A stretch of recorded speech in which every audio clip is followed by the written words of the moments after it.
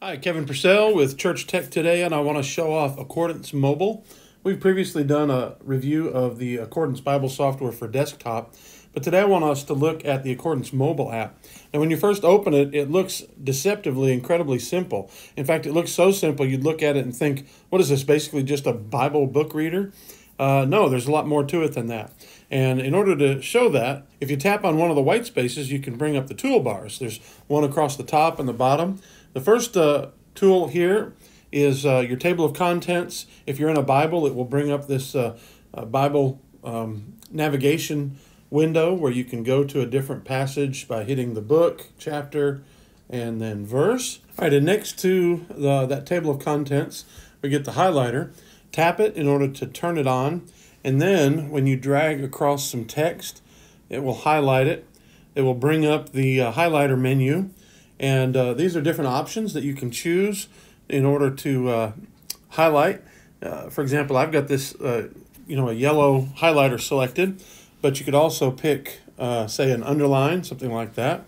Then if you want to get rid of it, just select the text again and hit clear on the pop-up menu and that gets rid of it. If you press and hold on there, you can change to the different highlighters you want and then of course turn it off.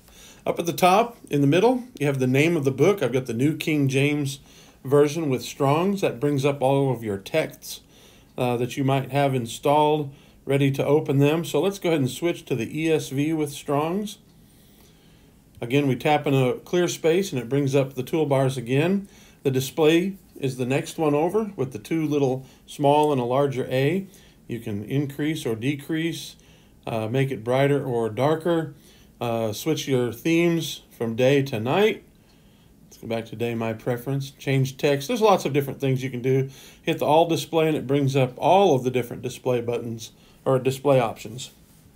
And then finally, if you want to search, you can go ahead and search. Let's type for uh, the word grace. This is a basic uh, word search. Um, and uh, if you need to add commands, you can do that tapping on the command. So we'll type search for grace and love, hit enter, and notice it returns a number of uh, options. You can open that up. Now, if you tap and hold on the uh, verse letter, uh, you can look at it, show it in context, and so it'll show that in its context instead of just in that search results list. Go back and you see your search results again hit the um, search icon, which looks like a little pair of glasses in the upper left, and it goes back. Um, there are other kinds of things you can do in search, bring up the options uh, in order to do more uh, refined kinds of searches. But we're going to cancel that for now. At the bottom, there's another toolbar. Notice the library toolbar opens up. If you've uh, been using the app for a while, it'll have some recently opened books, and uh, you can clear this. We'll do that. Uh, if you didn't clear it, there was a back button that would bring you back to this stage and open your texts. Again, let's go back to the King James. We'll bring up the library again to look some more at it. It's got other styles of books, everything from devotionals, English tools. That'll be things like dictionaries. For example, I have the ISBE. Tap the uh, toolbar again and open up other things. Uh, these will put them in the main screen. Another thing you can do, and we'll show you how to do it in a second, is you can put it in a second window. Uh, this second button here will sync, and when you hit that, by default, it's waiting for accordance on your desktop. In accordance on the desktop, you can tell it to sync if they're both on the same Wi-Fi network, or you can attach your installation of accordance to um, Dropbox, and it'll sync with Dropbox there. There's the settings kind of a strange place to put settings in my opinion, but anyway, it shows all the different settings. We're not going to go through each of these one by one. There's a store icon. You can buy a few books, not all the books that they have available, uh, but you can buy some, and we'll get it back out of that. And then over here at the bottom right corner is a, a help. We can go to the table of contents. Uh, let's find out about sync with Dropbox. That we were just talking about that. We'll go to done, close that out. Now in the center at the bottom, you've got these arrows. And so let's say we go to Nehemiah chapter 12, verse 12. I'm not even sure what's there, but that brings this back arrow. So, this is the history of the passages that you have viewed in that book. Notice it's going back and forth. The other ones, the up and down, will navigate in chapter. And then in the bottom right corner, this brings up the dual pane toggle. Uh, that toggles the dual pane. And you can also switch it so that they're top and bottom or left and right. And then when you do that, notice how they are syncing, but you can unsync them so that you can have two different passages, or even better, sorry, let's uh, open this up.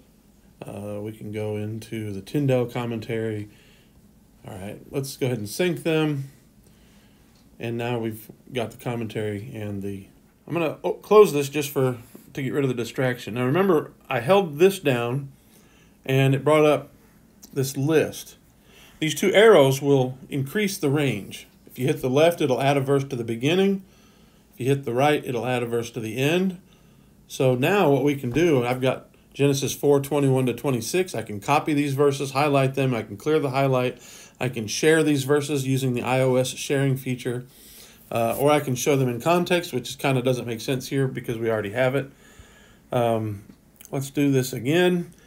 Uh, if I don't have a range of verses, I've got all these options. Uh, one of the most powerful features that I like in Accordance is this Amplify. And so what it does is it opens up the uh, passage in my chosen commentary. That's that's the highest ranking commentary in my library. NICOT, that's the New International Commentary of the Old Testament, is the highest one. If I hit edit, I could drag this and change it. So maybe if I want to now have the New American Commentary as the highest. And what that allows me to do is change what will pop up when I hit that um, amplify button. Now, if I go and let's say I want to study uh, here in Genesis 4 19, we're going to study the word dwell. So tap and hold on it. That brings up two things. It brings up this menu just above the selected word. It also brings up this box. It's the instant details window. If you've used Accordance on the desktop, it's got the instant detail window. And in the instant detail window, it shows this entry in um, various books that have, uh, uh, this is a tagged verse, and so it's going to show it in um, tagged books that show Strong's tags. Also, it's going to show the word dwell in the International Standard Bible Encyclopedia. That's, again, your first dictionary or encyclopedia book on your, your list. Now, I could search for this word, or I could amplify it and you get three options. Search for the word, that's the, the tagged word, so it'll be the Hebrew word, tagged by key number. Or you can search by the lexeme. All right, and so that's going to find that lexical form in, uh, in the scriptures. Overall, I think that the uh, Accordance mobile app, which is, by the way, free, um, it, it's free to download, and you get a few books if you register it. Uh, so you're having a, an account with Accordance, you'll get even more free books, and then you can purchase books uh, over at accordancebible.com and add those to your library. If you've already purchased a number of books because you've been a user of the desktop app, then these will mostly show up in here in in your library. I'm very pleased with it. The only thing I'm not crazy about is I, I don't really use the notes feature um, in Accordance because, uh, as I, I've, I've probably said before, Accordance isn't my number one choice, and the only reason for that is I've got a huge library that I've paid for in another uh, company's program, and it's just, you know, I don't want to have to rebuy a lot of those books.